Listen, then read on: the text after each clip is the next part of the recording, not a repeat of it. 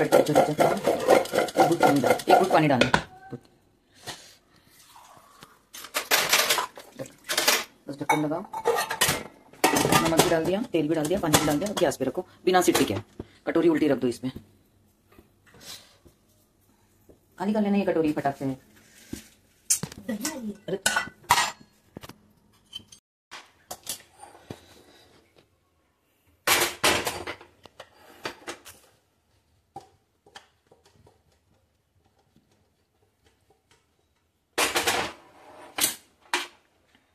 आलू को एक एक एक एक खोल लेना और गुठली निकाल लेना।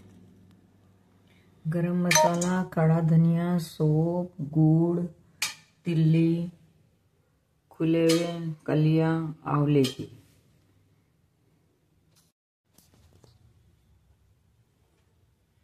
चुटकी भर हींग जीरा डाले, राई ना डाले सोप जीरा।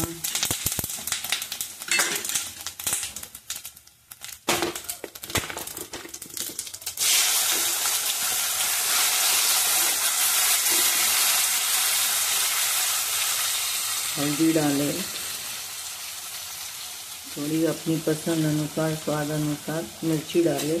नमक और धनिया पिसा हुआ धनिया, हल्दी वगैरह डाल के नमक मिला के फिर गुड़ डाल के मिक्स करें।